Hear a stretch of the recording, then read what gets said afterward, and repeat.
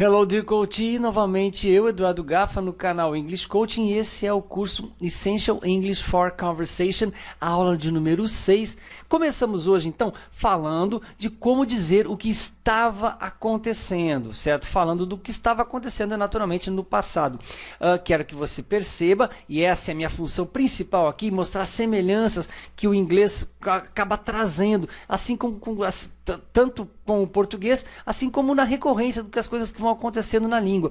E observe que essa aula aqui tem tudo a ver com a aula de número 4, certo? Então comece a perceber o que está acontecendo para você ter a noção clara de que o inglês é um jogo que tem várias pecinhas, como um Lego, você vai montando do jeito que você quiser, tá? Dependendo da sua necessidade, da sua criatividade. E é o que a gente vai fazer aqui. Segurança, confiança para você falar e entender quando e quando e quando tiver que usar o inglês. Beleza? Começamos a nossa aula falando de frases afirmativas e atenção, repita comigo para que a sua pronúncia saia semelhante à minha, tá? Primeira frase que nós temos aqui é I was going to the mall.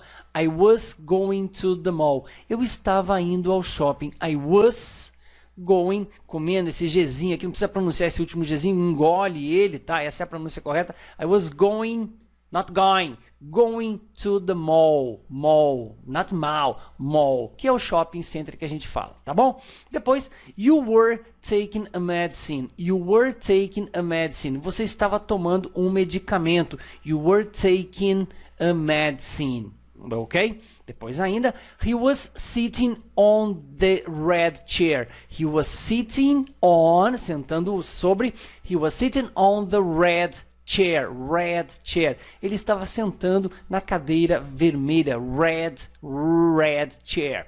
E para fechar, she was writing a letter. She was writing a letter. Ela estava escrevendo uma carta. She was writing a letter. Alright? Seguindo então, a gente tem, olha lá para, sei lá, um, objeto voador não identificado e fala: It was moving slowly. It was moving slowly. Ele estava se movendo lentamente. Olha esse LY aqui que dá essa noção do mente para a gente da língua portuguesa. It was moving slowly. Certo? Ele estava se movendo lentamente. We were getting a new car. We were getting a new car. We were getting a new car. Você vai perceber que o verbo get ele é uma porção de coisas, certo? Ah, se você assistir às aulas que são extras aqui também, você vai ter essa a percepção de que o verbo get é uma porção de coisas. Nesse caso aqui, ele vale por ter, obter, adquirir. Então, nós estávamos comprando um carro novo. We were getting a new, lembra do novo, né? New car. Depois, ainda, ainda sabendo que ah, isso aqui, esse you aqui é de plural por causa da nossa sequência dos pronomezinhos das frases, né? Então, you were putting it on the right place. You were putting it on the right place. Vocês estavam colocando isso no local correto, right place. E para fechar, they were drinking soft drinks. They were drinking soft drinks. Eles estavam bebendo bebidas não alcoólicas, refrigerantes, por exemplo, certo? They were drinking soft drinks. Saímos agora das afirmativas para as frases negativas. E lembrando, tá? Frases negativas a gente começa sempre com um sujeitinho, depois o verbinho e a inclusão do not. É a única coisa que as difere das frases afirmativas. Isso é muito simples, tá certo? E aí então, ó, I wasn't having dinner with Jane. I wasn't having dinner with with, olha o TH pegando, with, né?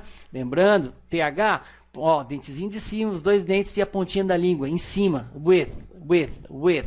We, uh, I wasn't having dinner with Jane. Eu não estava tendo jantar com a Jane. Certo? Depois, you weren't doing homework. You weren't doing homework. Do, do, do, do, eu vou fazer, né, executar. Doing, nada de doing. Tem gente que fala doing, doing, doing chega do e na vida. Doing, você não estava fazendo o dever de casa. You weren't doing homework. Uhum. Ainda, he wasn't using a dictionary that day. He wasn't using a dictionary that day. Ele não estava usando um dicionário naquele dia. He wasn't using a dictionary that day. E ainda, she wasn't calling her father. She wasn't calling her father. Olha o verbo ligar aqui, ó, call, call, nada de call, call. Cow é vaca. Call, call, call, call. So, she wasn't calling her father. Ela não estava ligando para o pai dela, her father, pai dela, her father. Alright? Passando para as próximas, the map, o mapa, wasn't taking us to the beach. The map wasn't taking us to the beach. O mapa não estava nos levando para a praia. The map wasn't taking us to the beach. O verbo take também tem uma porção de entradinhas para ele, é um verbo interessante e bem útil, né? Ainda, we weren't telling lies. We weren't telling lies. We weren't telling lies. Nós não estávamos contando, verbo tell, contando mentiras, lies.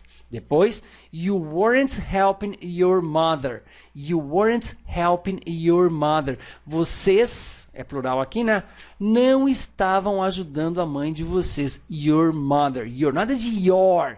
Your mother, ok? E para fechar, they weren't feeling so good.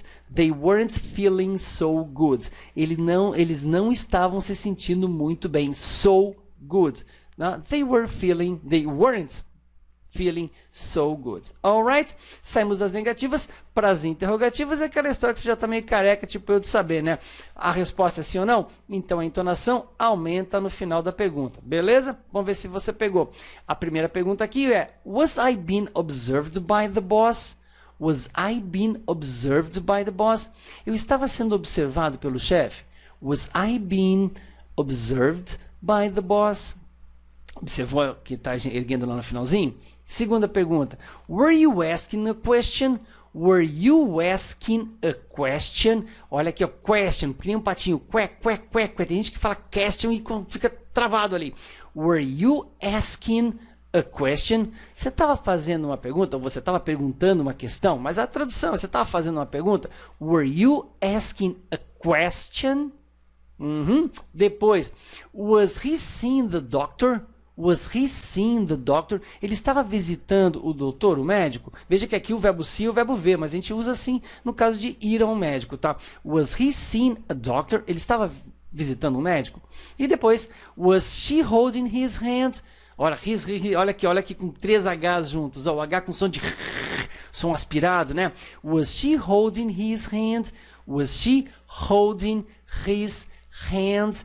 Ela estava segurando a mão dele, his hand. Ok? Was she holding his hand? Desafiozinho aqui legal, hein? Depois ainda, ó.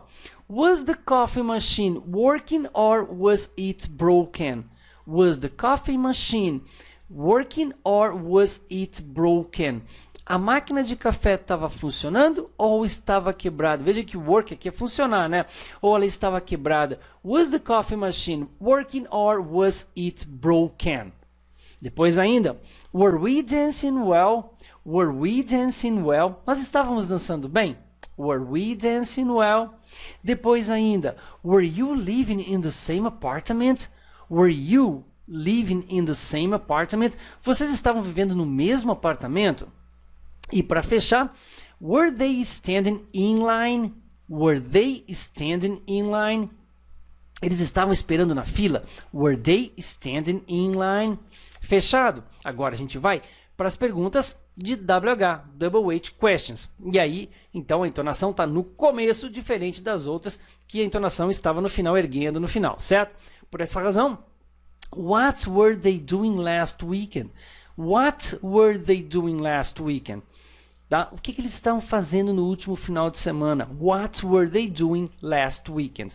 Depois ainda, who was she dancing with at the ball? Who was she dancing with at the ball? Com quem ela estava dançando no baile? Who was she dancing with at the ball? Estranha essa construção aqui, mas perfeitamente tranquila. Depois ainda, where were you staying in Paris? Olha só, where were Where were you staying in Paris? Onde você estava ficando em Paris? Where were you staying in Paris? In, lá dentro de Paris. Ó, as preposições pegando aqui, ó. Assim como a preposição at the ball, at, lá no baile, né? At the ball. Para fechar, a gente tem When was Sylvia having lunch? When was Sylvia having lunch? Quando que ela estava almoçando? When was Sylvia having lunch?